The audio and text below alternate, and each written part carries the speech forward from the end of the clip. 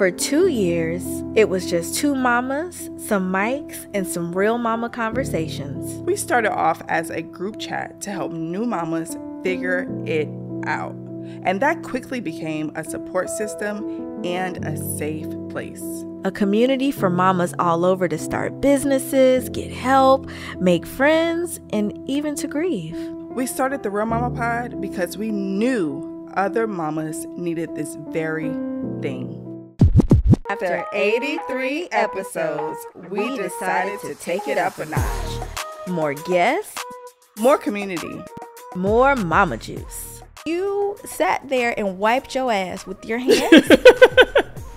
and then you went back into the classroom. Parenting our parents. This shit is hard. Oh, like yeah. I feel like I have two sets of kids. I knew my mom was gonna get old, but like you never really imagine looking over their health insurance, their life insurance policy, making sure they have a will. Like you never really imagine like your parents Leaving here Yeah. one day. Yeah. I am your postpartum pleasure and intimacy coach today. This day is all about us and what we need to do to take better care of ourselves more intimately and physically. A lot of you can relate that after having a baby, you feel disconnected from your body. So when I became a mom in 2019, it was on a compound in Saudi Arabia. I was treated with the utmost respect overseas. Mm. And I say that with my whole chest because I know that women of color do not get the best experience here. Mm-hmm. And this is our home country. I knew Ethan was autistic from two. Using my son as an mm-hmm. example and learning how to regulate my, you know, energy. Mm-hmm. I just I brought that into production. Yeah.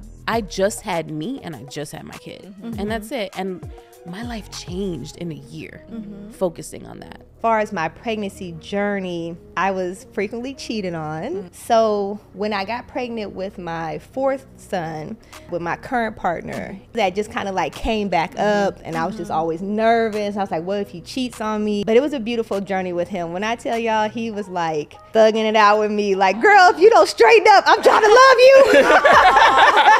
Our first live show we did. I just want to say thank you so much for really believing in us and what we do. Thank y'all and thanks for tuning in. Until next time, moms. Bye. Bye.